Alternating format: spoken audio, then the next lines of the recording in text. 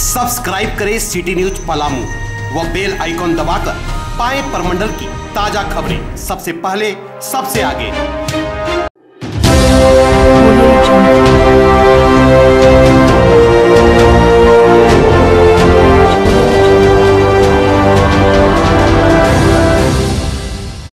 पिपरा प्रखंड में जन वितरण प्रणाली में व्याप्त अनियमितता उजागर हुई है।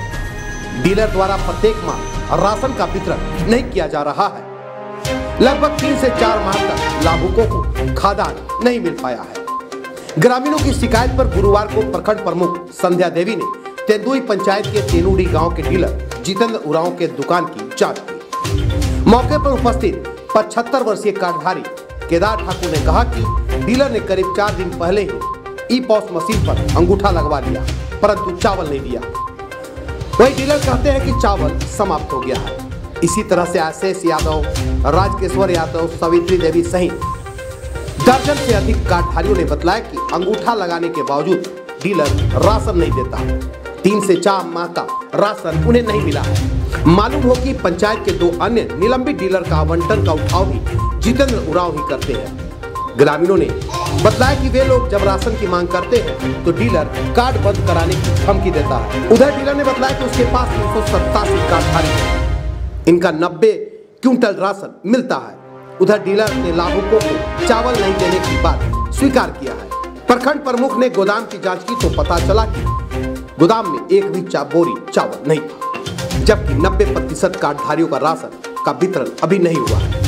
प्रखंड प्रमुख ने बताया कि डीलर द्वारा उठाया गया राशन दुकान तक ही नहीं आता, जबकि प्रत्येक माह कार्डधारियों से ई पॉस मशीन पर डीलर अंगूठा लगवा लेता है।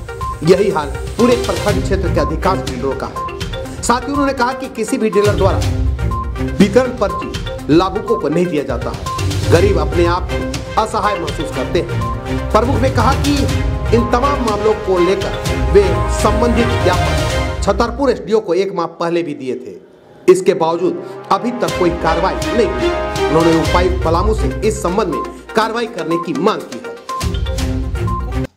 जनवरी में राशन मिला अच्छा और उसके बाद? अब उसके बाद फिर अभी मिला अच्छा अंगूठा आप लोग लगाते हैं हर एक महीना? अंगूठा लगाओ अच्छा। उसके बाद फिर आएगा तो। पर्ची दिए होंगे नहीं लोग होता।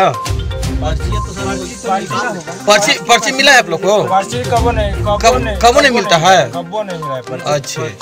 तो पर्ची